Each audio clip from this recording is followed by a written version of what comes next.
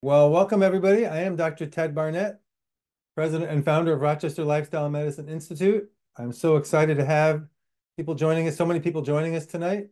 Uh, welcome to my gazebo in Western New York. Announce how excited we are about our uh, tonight's Lifestyle as Medicine lecture, which is Analyzing, Understanding, and Promoting the Vegan Diet with Glen Merzer. Um, just a review of our LMI programs. We run two American College of Lifestyle Medicine certified programs, uh, our own 15-day whole food plant-based jumpstart program, which we consider the prescription for chronic disease. And we also run the LIFT project, um, which was developed by Dr. Darren Morton in Australia. And then we have uh, health coaching available for um, uh, anybody who is interested. We also run a, um, a new uh, community platform called paleblue.community, which is now where we host our uh, lecture series.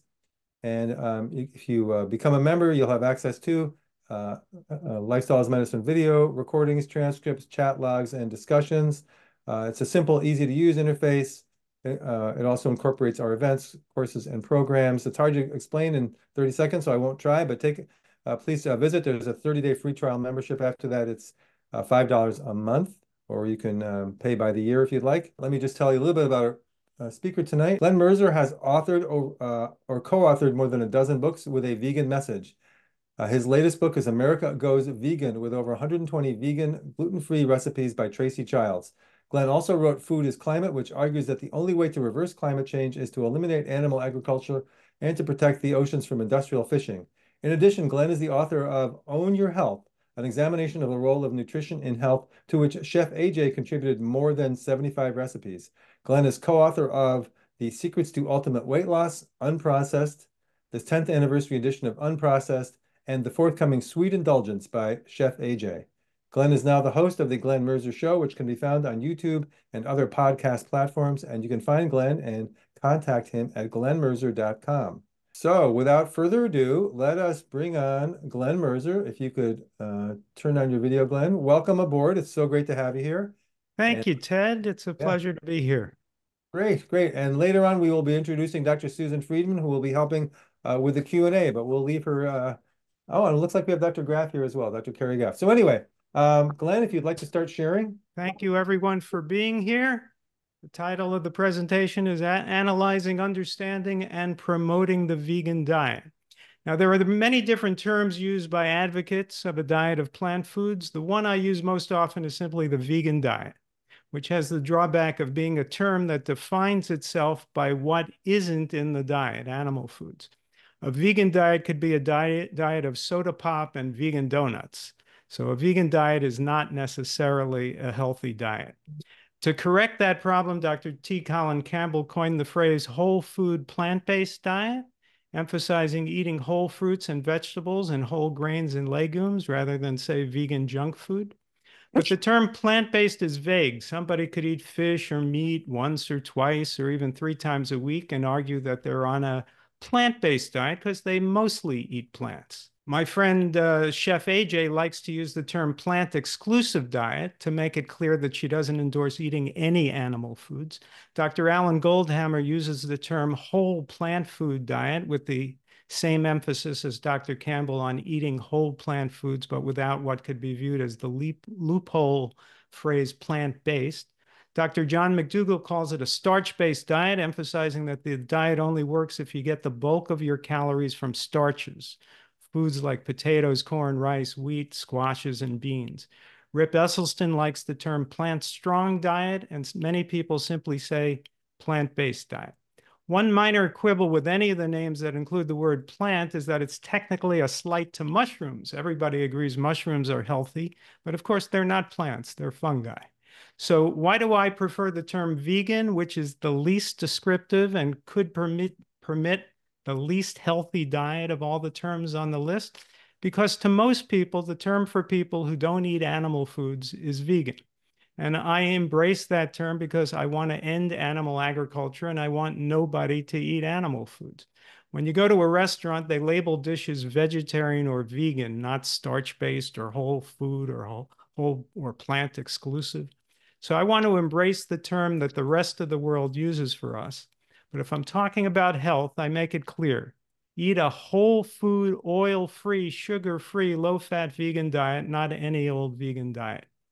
And, and, so, and so far, it appears that the world isn't listening to me. Uh, vegans are, are generally estimated at only about 2% of the population, and healthy, whole food, low fat vegans would be a fraction of that 2%. So, why is it hard to get people to eat the healthiest human diet? Because we are the Fore. The Fore people of Papua New Guinea had a big problem in the 1950s and 60s. Many were dying of a horrible disease called kuru, their word for shivering. The victims would shake, develop facial spasms, and lose the ability to walk and to control their bodily functions and to swallow, and then they would die. It's 100% fatal. It affected mostly women and some children. It was due to their unfortunate practice of cannibalism. The women had decided not long before the 50s that it was a shame to waste the good meat of their dead relatives and allow it to be eaten by worms. And so the tradition grew to honor their loved ones by consuming the whole corpse, all cooked and eaten, including the brains. This was in part revenge against the men, who always ate the best parts of pigs and gave women the leftovers. As payback, the women ate more of their loved ones than did the men, and it was always the women who ate the brains, or they may have shared a little bit of brain with their children. Well, it turns out, ironically, that eating brains is not smart. Many Fore women were dying of kuru, so many that the male to female ratio began to approach three to one. It was ultimately determined with the help of a Nobel Prize winning, winning researcher named Carleton Gajdusek, who studied at the University of Rochester in the early 40s. It was determined that there was an infectious agent involved in kuru that was not actually alive. It's a misfolded protein now called a prion. Prion diseases include scrapie in sheep, mad cow disease in cows, chronic wasting in deer, Creutzfeldt-Jakob disease in humans, and kuru in humans. About one in a million people will, for no known reason, get a misfolded protein, a prion, in their brain and develop Creutzfeldt-Jakob disease, always fatal. That must have happened to one of the Fore people. But then when his or her infected brain was eaten by many women, they got kuru. And then when their brains were e eaten, you can see why it's not smart to eat brains. But the Fore were taught by Westerners to stop with the cannibalism, and they stopped, and they're not dying of kuru anymore. Now, it's easy to condemn cannibalism, which seems like a terribly primitive, unthinkable crime against nature and humanity. But from a health perspective, it's really no different than eating cows. From a health perspective, flesh is flesh cow, horse, pig, fish, or person. We could look down on a culture that was cannibalistic, but there's no scientific reason to believe that eating cows is any more sensible or health healthy for human beings than eating your uncle. And our decisions on what we should eat are just as irrationally grounded in cultural traditions as the decisions made by the Fore.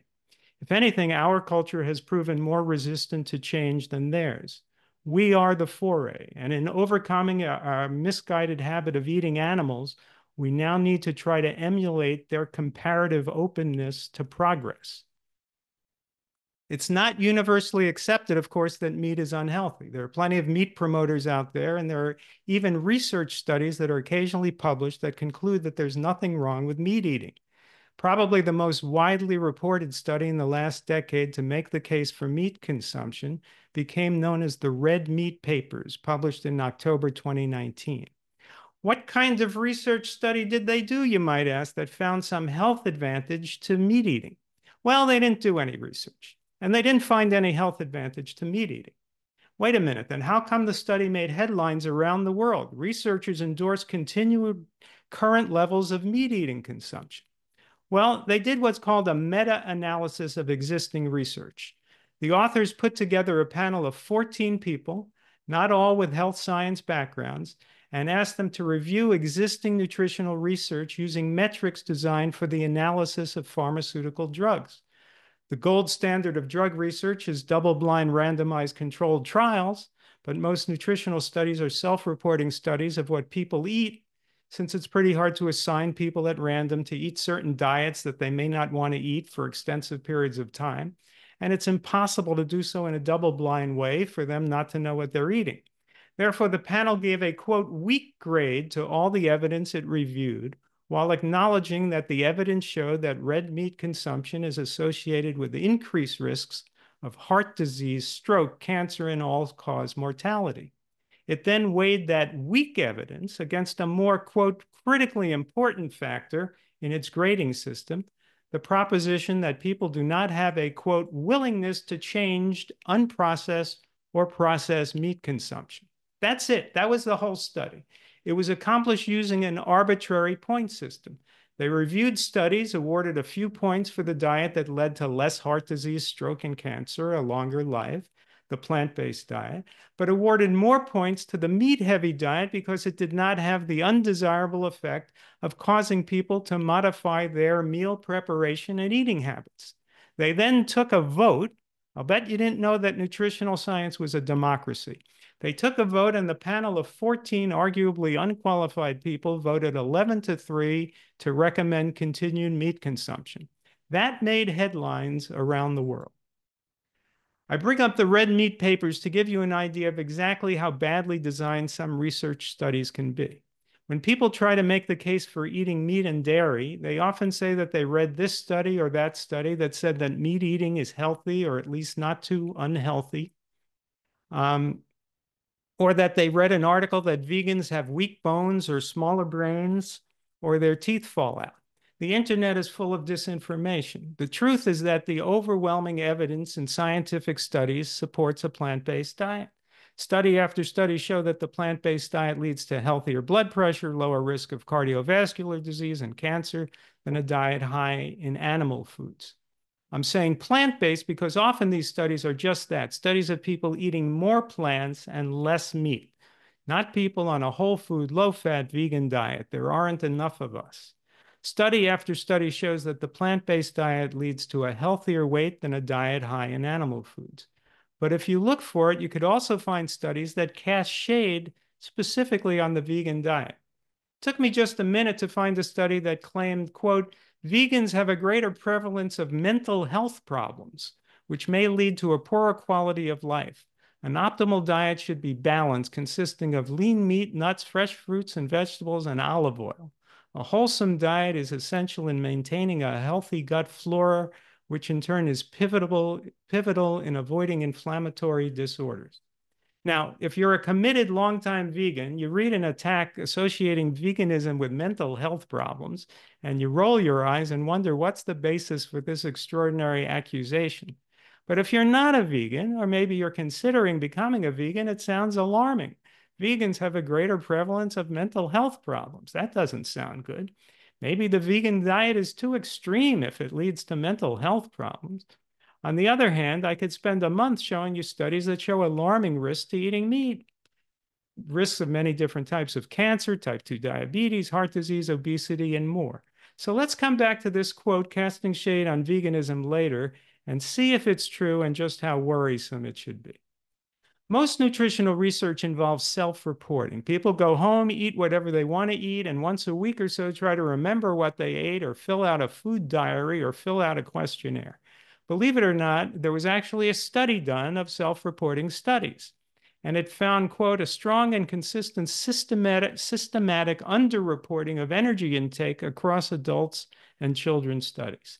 So if people either don't remember everything they ate or they underreport when they binge on ice cream and cookies.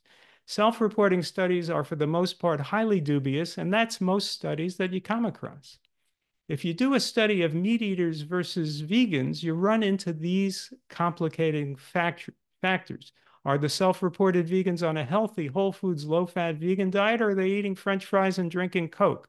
Did the self-reported vegans become vegan at age 65 after being diagnosed with heart disease? Are some of the meat eaters eating more fruits and vegetables than the vegans? And then there are lifestyle factors like exercise, smoking, drinking, and drug use that affect health.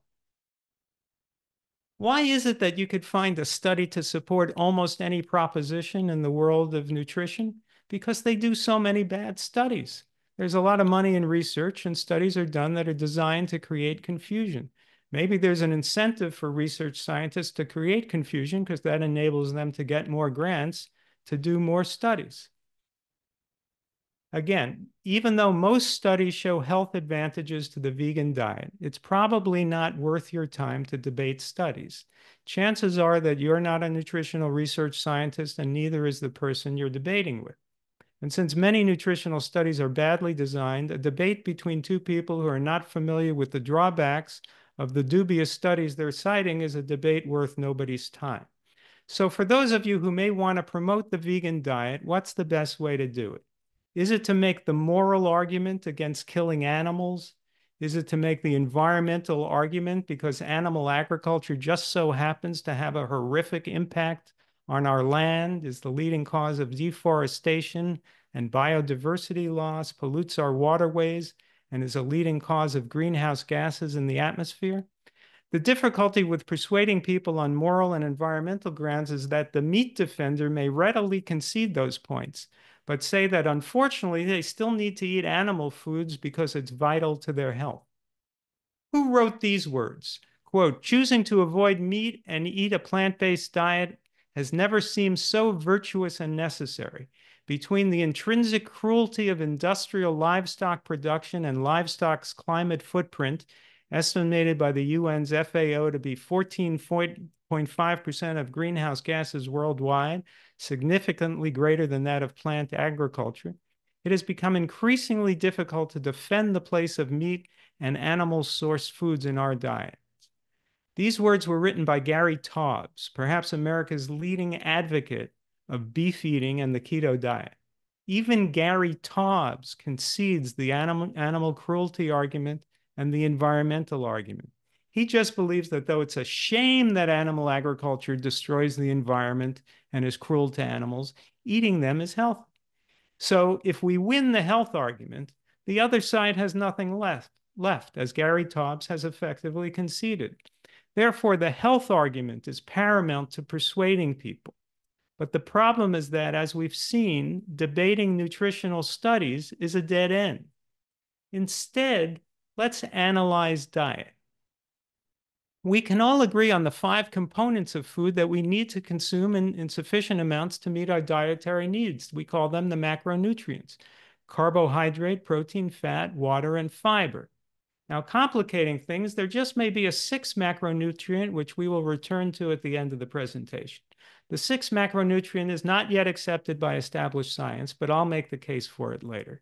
For now, let's limit ourselves to an analysis of the five basic macronutrients. If you're debating diet with someone who claims that there's some benefit to eating animal foods, challenge them to identify where that benefit is. That's not too much to ask. Surely it has to be in at least one of the macronutrients. If it isn't in the water, the fiber, the protein, the fat, or carbohydrate, where could the advantage possibly be? So let's analyze the macronutrients to see where the animal food advantage could possibly lie. Now, severe dehydration can lead to seizures, kidney failure, coma, death. Chronic dehydration could lead to kidney stones, reduced kidney function, urinary tract infections, constipation, poor sleep, muscle damage, and muscle spasms. Water is important. Do you drink eight glasses of water per day? Most of us don't. That's what's recommended to prevent dehydration. But you'd have to have a glass of water at 8 a.m., 10 a.m., noon, every two hours until 10 p.m. That's eight glasses of water. How many people do anything like that? I, I don't know anyone who drinks a glass of water every two hours. In the lay press, you'll often read that 75% of Americans are dehydrated. There's actually no study that supports that number. Still, it's a safe bet that a significant percentage of Americans don't take in enough water. But you don't have to get your water from a glass. You could obtain it from food. Now, what's more full of water, plants or animal foods? Answer. Plant foods. Apples are 86% water by weight. Cantaloupes, 89%. Strawberries, 92%. Zucchini and tomatoes are each 94%. Celery, 95%. Cucumber and romaine lettuce are 96% water. Almost all fruits and vegetables are almost all water by weight. And it's the best, healthiest water on the planet. It's plant filtered water. How do you make oatmeal? You boil oats, rice, buckwheat, millet, barley, quinoa. These are all cooked in water, and the grains absorb the water that's been purified to a large extent by boiling. Even legumes, beans, and lentils absorb the cooking water. But you don't boil bacon or sausage or a burger, and they wouldn't absorb any water if they did. So you have the filtered water that's naturally in plants, and you also gain water from cooking grains and legumes. I might have a big bowl of oatmeal in the morning, serve it over some mixed greens, top it with berries and grapes, and I'm probably getting as much water as if I drank three or four glasses. But is there any water in meat? Yes, there's some water in meat. Meat has to be cooked, of course, and the higher the cooking temperature, the more water will be lost. Cooked meat, beef, or chicken, for example, will generally be about 50 to 60% water.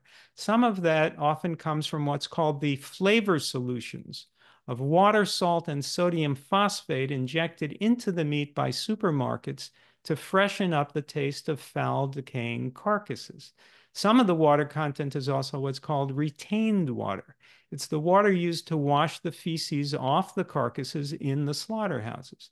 So you've got your choice of eating plant foods that are rich with naturally filtered water, um, or eating animal foods and getting a little bit of slaughterhouse water and liquid flavoring from supermarkets. Clearly, advantage plants.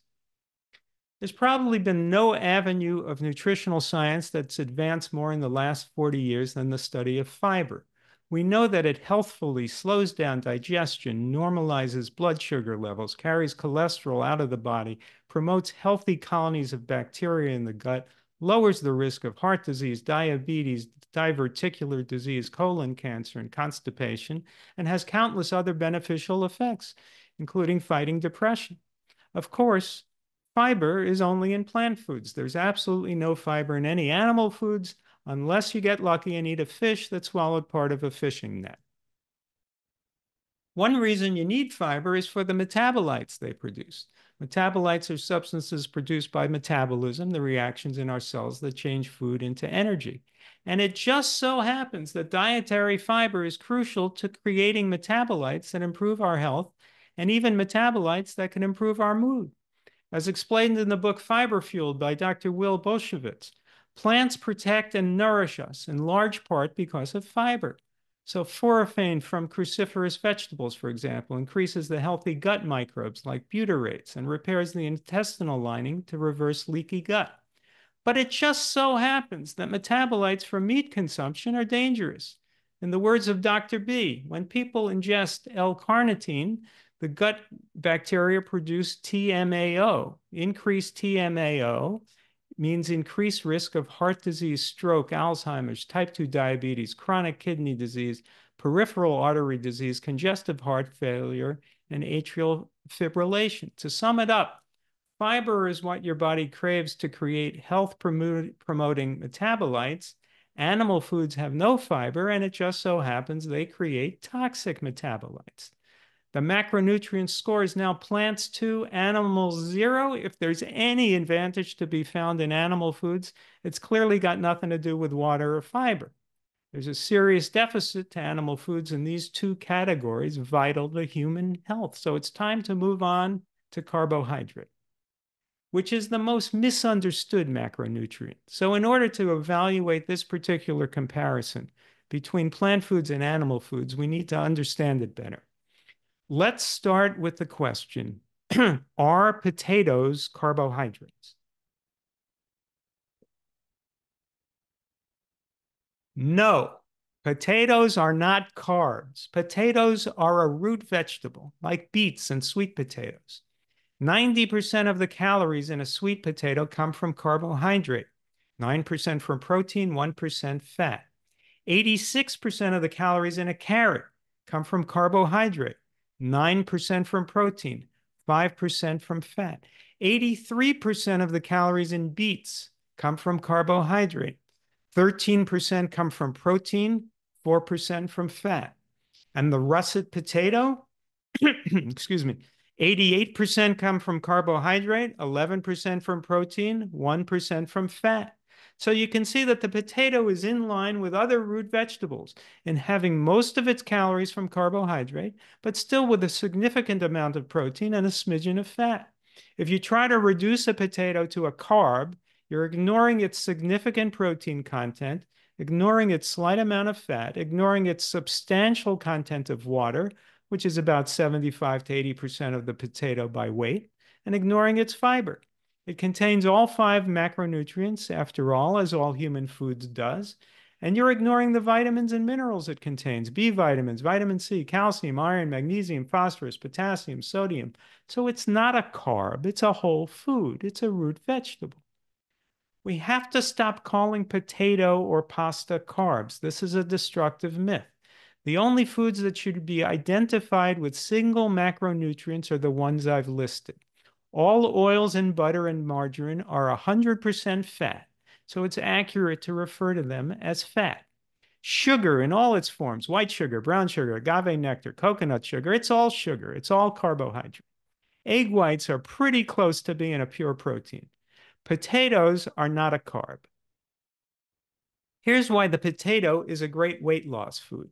Even though potatoes are very filling, there's actually less than one calorie per gram, per gram of potato. Now, how can that be? people call potatoes carbs, right? And we know that there are four calories per gram of carbohydrate. So how can there be less than one calorie per gram of potato if it's carbohydrate? Shouldn't potatoes be four calories per gram? Answer, potatoes are not a carb. As I said, they're a root vegetable. And by weight, they're mostly water, mostly fiber and water. So you're filling yourself up on a vegetable that's got a lot of zero calorie content, a lot of fiber and water. How about bread? Is bread a carb? No. Ezekiel of sprouted grain bread made with sprouted wheat, filtered water, sprouted barley, sprouted millet, lentils, soybeans, sprouted spelt, yeast, gluten, and sesame seeds is 80 calories per slice, and it's 25% protein with one gram of fat. It's about 70% carbohydrate, so it's not a carb. It's a processed food, but as breads go, it's a pretty healthy one with a range of nutrients. How about tortillas? Are they carbs? I have a package of corn tortillas. It's got 60 calories, about four of which come from protein and three from fat. And this is clearly protein and fat that derives from the corn. So the tortilla is not a carb. Is pasta a carb? I've got some red lentil penne made from red lentil flour and brown rice flour in that three and a half ounce serving. It's got 22 grams of protein and two grams of fat. It's extremely high in protein. It's not a carb. How about regular old semolina wheat pasta? I've got a package of 100% semolina spaghetti that says that a two ounce serving has six grams of protein. And I don't know about you, but when I eat spaghetti, I eat more than two ounces. So there's plenty of protein in pasta. It's not a carb. Again, pasta is a processed food, not as healthy as a sweet potato, but it's not a carb. Only sugar in its many forms is a carb. Donuts are not carbs. Donuts have oil and they may have dairy or eggs. They're going to be very high in fat as well as sugar. Donuts are unhealthy for more reasons than I can count but they shouldn't be called carbs and thereby slander carbohydrate, the natural fuel for the human body and the sacred joining of carbon and water that makes life possible. To claim that there's anything wrong with carbohydrate, you have to claim that there's something wrong with all vegetables and almost all fruits. These are the healthiest foods on the planet, rich in fiber and antioxidants and vitamins and minerals. People never say that they're avoiding broccoli because they're trying to lose weight, but they do say that they're avoiding carbs because they're trying to lose weight. Yet most of the calories in broccoli come from carbohydrates, although there's also a good amount of protein and a bit of fat. So why do people associate carbohydrate with fat being fattening? For one thing, because sugar, which is truly carbohydrate, 100% carbohydrate, is terribly fattening. There are 1,775 calories in a pound of sugar, which is truly a carb. There are 350 to 400 calories in a pound of potatoes, a root vegetable, not a carb. So, yes, carbs are fattening if you're eating a pure carb, but don't mislabel potatoes as carbs and then claim they're fattening. The magician Penn Jillette lost over 100 pounds eating a diet of nothing but potatoes. Then there's the conf- conflation between carbohydrate and foods made of flour. People think of foods made from flour as carbs, bread, pasta, pizza, cakes, cookies. And indeed, these foods are calorically dense. Some breads are more processed than others. I believe that whole grain breads are healthy, but they're calorically dense because flours are compressed, beaten grains that have lost some of their fiber. Pizza is fattening not only because of the flour, but mostly because of the oil and the cheese and any meat based toppings. Cakes and cookies have sugar and fat. So the fallacy is to label processed foods that often have a lot of fat as carbs, then hold that against a perfectly innocent and crucial macronutrient. Most of your calories need to come from carbohydrate. They can't come from anywhere else without throwing off your body chemistry and endangering your health. Plants provide carbohydrate. Just as there is no fiber in meat, there's no carbohydrate in meat. So once again, we have a no-brainer macronutrient category. When it comes to carbohydrate, which is indispensable to life, plants provide it and flesh foods simply do not. So clearly plants are superior to animal foods when it comes to macronutrient three, carbohydrate. That brings us to fat. Now, the advocates of the paleo diet and the keto diet want to try to convince you that fat doesn't make you fat. Okay, what does? Cauliflower? Apples? The argument is so preposterous that it's hard to take seriously. Look, we know what contributes to obesity highly caloric foods, including some vegan ones. Alcohol, all forms of isolated sugars and oils, which are 100% fat, and flesh foods, which are usually in the range of 50% fat, and dairy foods, which are extremely high in fat. When you eat a whole foods vegan diet, and if you eliminate or absolutely minimize sugar, oil, and alcohol, it's all but impossible to get fat. Now, you need some fat in your diet. It's one of the macronutrients after all. So, what's the problem with eating too much fat? To start with, it's nine calories per gram instead of the four calories per gram of carbohydrate. So over time, if you're eating a diet that's got 35 or 40% of your calories coming from fat, of course you'll gain weight compared to a diet that's 10% fat. Now, just in my lifetime, the average middle aged woman or man is about 25 to 30 pounds heavier than they were when I was a boy. Since 1960, the prevalence of adult obesity in the US has more than tripled. Since 1970, the prevalence of obesity uh, has more than tripled among children from 5% to 17% today. I like to note that since Obamacare went into effect in 2013, giving upwards of 20 million Americans more access to medical care, obesity in America has increased from 36% to 42%. So going to the doctor clearly isn't a very effective way of combating obesity. Nobody should be fat shamed, but we can't pretend when we discuss health and nutrition that obesity is anything other than a disease state. Being obese is statistically associated with greater all cause mortality, heart disease, hypertension, and cancer. Uh, uh, stroke, high cholesterol, fatty liver disease, gout, fertility problems, respiratory problems, arthritis, and more. And when you have what's called metabolic syndrome, this group of conditions that are linked, obesity, high, uh, um, heart disease, high cholesterol, type 2 diabetes, hypertension, each condition contributes to the other. Is it the obesity that causes the hypertension that causes the heart disease? Well, about 75% of people who have hypertension are obese. Why are all these diseases linked? because it's the cheeseburger that causes the obesity and causes the heart disease and the high cholesterol and the type 2 diabetes and the high blood pressure. These diseases are all linked because they have the same cause the fatty animal based Western diet. Now, it's not only animal foods that make the Western diet fatty, oil is also a factor. But all these fatty foods can result in high cholesterol teaming up with saturated fat to create atherosclerotic plaques that attack the arteries and ultimately the heart. Of all the mammals, how many develop atherosclerosis? You have your answer? Here it is. Here's the list of all the mammals who develop atherosclerosis. That's the complete list. We should have been able to deduce that we are herbivores since the year 1913, when a Russian fellow named Nikolai Nikolaevich Anichkov working at a lab in St. Petersburg, fed cholesterol from egg yolks to some poor, unsuspecting rabbits and thereby brought on atherosclerotic plaque and lesions. It was thereafter established that when you feed cholesterol to omnivores and carnivores, such as dogs and cats, atherosclerosis never develops.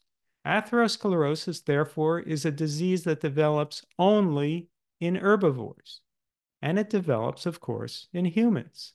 Therefore, humans are herbivores. We're the only animal to develop atherosclerosis because all the other herbivores are intelligent enough to not eat meat and all the omnivores and carnivores are biologically protected against developing it. Atherosclerosis affects only herbivores that make the mistake of eating meat, and we're the only species stupid enough to qualify. Please don't be offended. I want to apologize if I've insulted your species. Getting back to fat.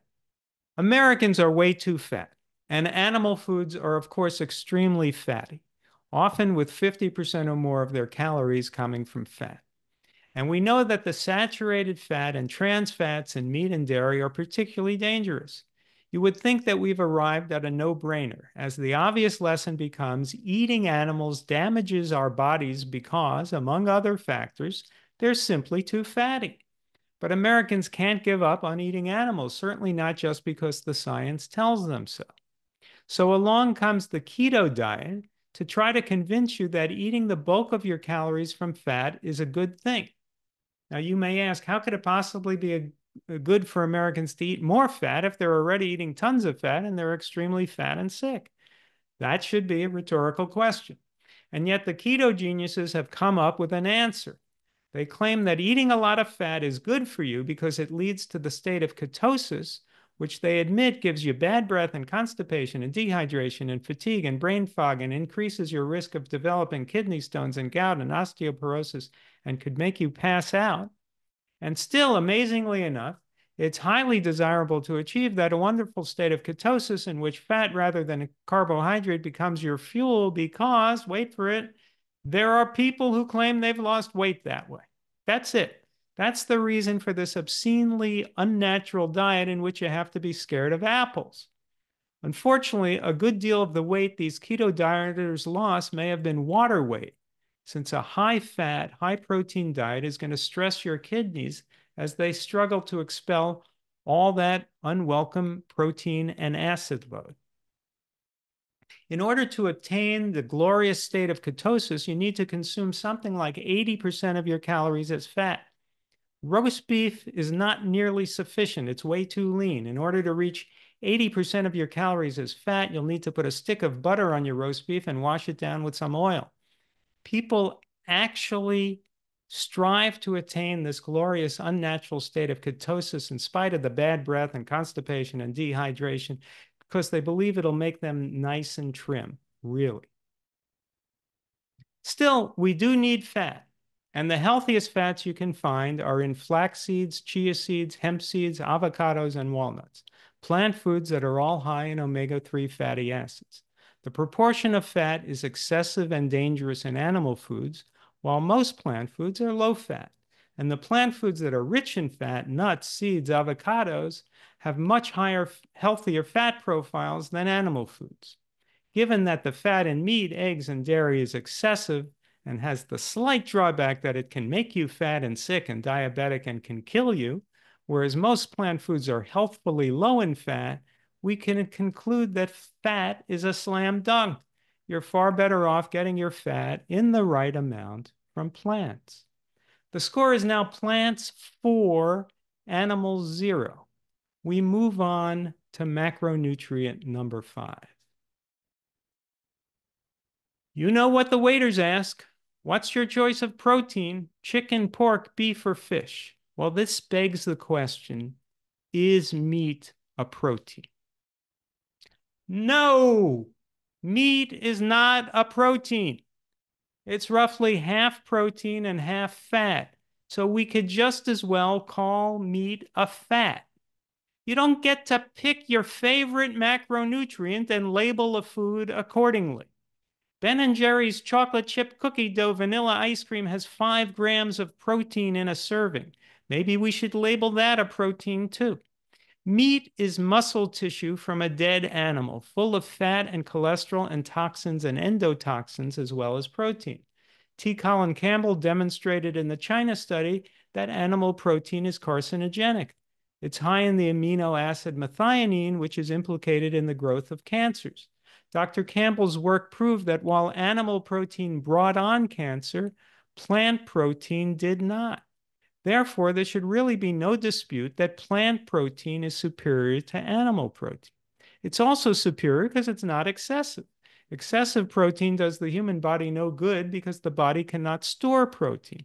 You simply excrete it, and an overload of protein causes an acid load that stresses the kidneys.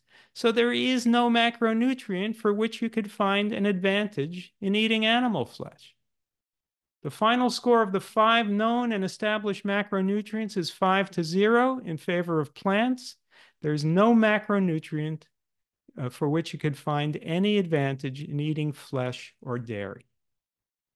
Now you can imagine the embattled defender of the paleo or keto diet conceding now, okay, so the whole food vegan diet is superior for the five macronutrients, but what about the micronutrients? Vitamins, minerals, antioxidants. Beef is full of vitamins and minerals. Well, where does a cow get the vitamins and minerals? From eating plants. There isn't a single vitamin or mineral that we need to cycle through an animal in order to obtain it. We could obtain it the way the animal does from eating plants. And antioxidants are hugely important. They prevent oxidative stress to your brain cells, to your heart cells, to your eyes, to your organs. They reduce inflammation. They can prevent cancer. And they're essentially only in plant foods. You don't eat sausage to get antioxidants. You eat berries and all kinds of fruits and vegetables.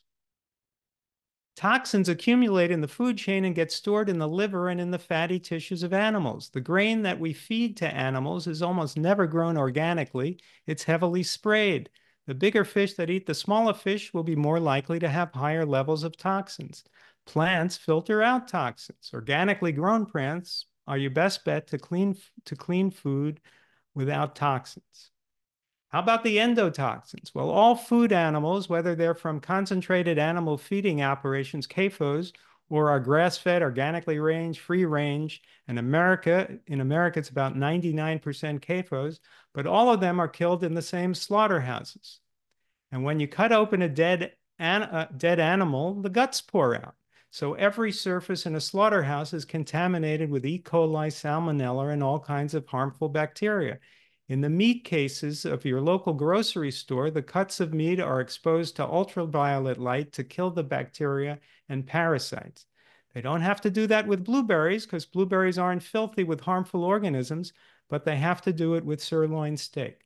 So hopefully it works and kills the bacteria, and cooking will certainly kill the bacteria, but these toxins turn into endotoxins, which are the main component of the outer membrane of the cell wall of gram-negative bacteria. Uh, endotoxins are heat stable. You can't cook them out. When people eat meat, they kill all the bacteria with cooking, but they're giving themselves a dose of endotoxins three times a day. Let me skip now to the sixth macronutrient. The macronutrients are what you need to absorb in order to live. Well, you can't live without some optimism. So, optimism is the sixth macronutrient according to, let's see, was it a study in the New England Journal of Medicine? Oh, no, it's according to me. And you have to ask yourself do you feel more optimism when you look at fruit trees or at a confined animal feeding operation? What leads to more hope, the smell of fresh bread or the smell of a pig lagoon? What makes you feel more joy in being alive, a farmer's market full of fruits and vegetables or a slaughterhouse? Forests or barren land burnt by cow grazing? If you go to my YouTube channel, you'll find an interview with Dr. Sailesh Rao, whom I call the avatar of optimism. I hope you'll take a few moments to watch that. Because what we're trying to do here the seemingly impossible goal of transforming the world to be a vegan, nonviolent place is an optimistic undertaking. And so it's a healthy undertaking. The healthiest activity you can engage in is in creating a more vegan world. It may seem hopeless sometimes to convince others to go vegan, but it takes hope to try. So it's a healthy thing for you to do. Now, remember this alarming quote vegans have a greater prevalence of mental health problems, which may lead to a poorer quality of life. Let's analyze it. First, there's no evidence that vegans have a greater prevalence of mental health problems. I read a meta study on the subject that found that 44% of the outcomes indicated that vegetarian and vegan diets were associated with higher rates of depression. 28% revealed beneficial effects of the vegan diet of depression, and 28% uh, found no association. So you have completely meaningless results that prove nothing. And there's no logic to believing that a berry or a zucchini causes depression while a lamb chop will cheer you up. So the first sentence, presented as if it's true, is in fact utter nonsense.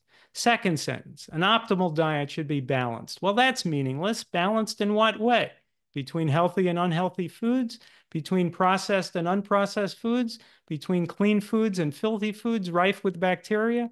What kind of balance are we aiming for here? Why are we aiming, striving for balance instead of health? consisting of lean meat. Lean meat doesn't exist. It's like clean coal. It's a marketing ploy. It's not a thing that exists. Meat has, has a PR problem that it's full of saturated fat and trans fats, and these are terribly unhealthy fats that can kill you. So the solution the industry has come up with has been to invent something called lean meat, which does not exist. You may have noticed that I used the, just a few more slides now. You may have noticed that I used the phrase, it just so happens, several times in this presentation. Animal agriculture just so happens to have a horrific impact on our land as the leading cause of deforestation and biodiversity loss, pollutes our waterways, and is a leading cause of greenhouse gases in the atmosphere. It just so happens that dietary fiber is crucial to creating metabolites that improve our health and even metabolites that can improve our mood. It just so happens that metabolites from meat consumption are dangerous. The study found that it just so happens that diets with larger amounts of saturated fat, animal products, and carbohydrates may induce endotoxemia more markedly than diets containing fiber rich plant based food. Well, of course, it doesn't just so happen. It happens because we are primates, cousins to the great apes, who eat a plant based diet, practically a vegan diet, and that's how we evolved to eat. We are herbivores, and every time we stray from that, it just so happens that we damage our health and our world. That is what you need to know and convey to others to help promote a vegan world.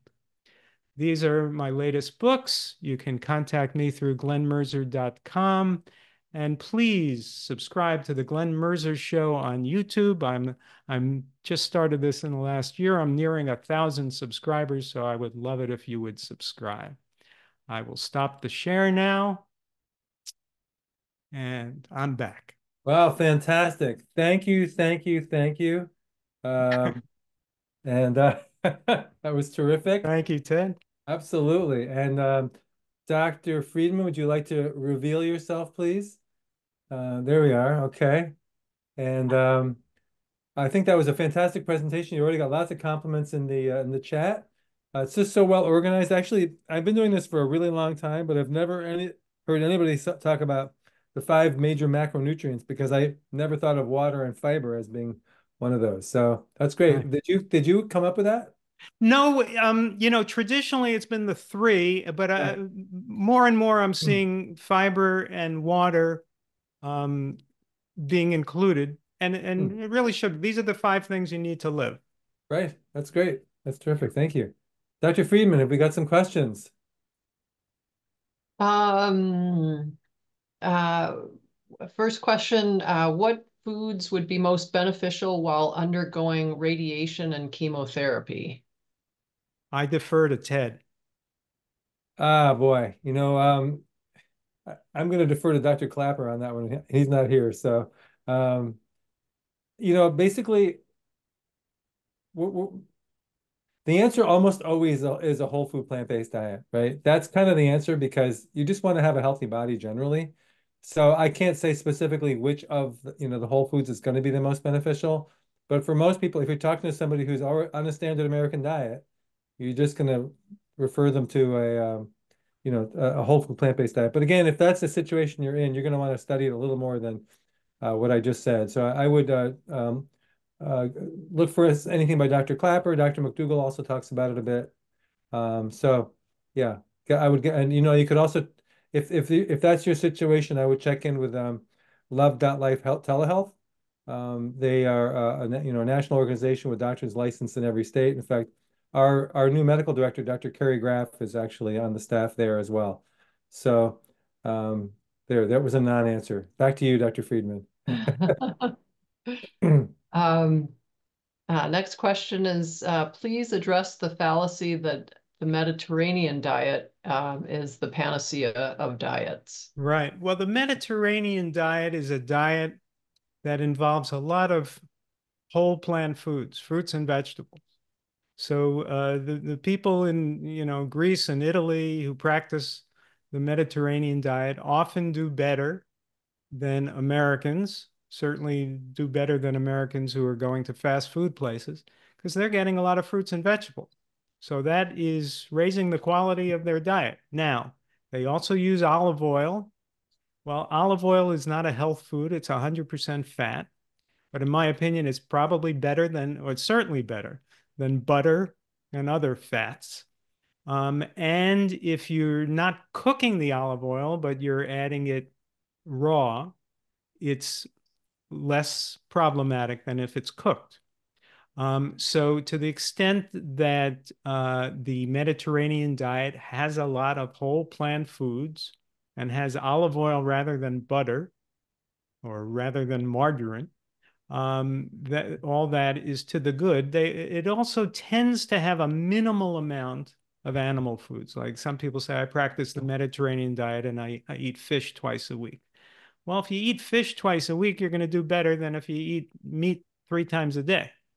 So, in hmm. other words, the Mediterranean diet is compared to most diets a pretty good diet. Therefore, people say, "Oh, I have a friend on the Mediterranean diet, lost weight, is doing well." And I say, "Yeah, you want to do even better? Cut out the olive oil and don't have any fish or meat. Uh, right. Go with a whole food, plant-based, low food, low fat vegan diet." Yeah, I would second that. Also, it's not clear that the Mediterranean diet has to have you know, half a cup of olive oil in it. It's probably, you know, and and originally was a few tablespoons or maybe mm-hmm. a tablespoon a day, something right. along those lines. So, yeah. You know, I have a question. Um, that quote from Gary Taubes, who I mm-hmm. never saw that quote before, but I always regard Gary Taubes as being a thorn in the side. Uh, when did he say that? What was the story there? Uh, you know, I would have to go back to the article, which article it was. I don't remember, but his wife is a vegetarian. Okay, just remind people what that quote was about. The the quote is that he he said that you know from a from a humane perspective, you know uh, the the vegan diet. He said something like the the, the vegan diet is is uh, you know is better from a perspective of being more humane, and then from the point of view of the planet, it's clear that a plant based diet is better for the planet. He acknowledges that. Right. And there's really no, I mean, I don't, I don't know anyone who argues that it's better for the animals to, to, to confine them and then slaughter them. And I don't know anyone who argues that it's better for the planet to chop down forests and give them over to, to either growing soy to feed to animals or, or, or grazing animals. There's no way to defend it. So the the argument that keeps the meat industry in business is that people actually think it's healthy. Right. And that's the argument that we have to defeat. And there is no good case to be made for eating meat. Yeah, and you know, it's funny. I, we always brag about how Rochester is a hotbed of um, lifestyle medicine and um, veganism. And actually, Gary Taubes is also from Rochester. Is he?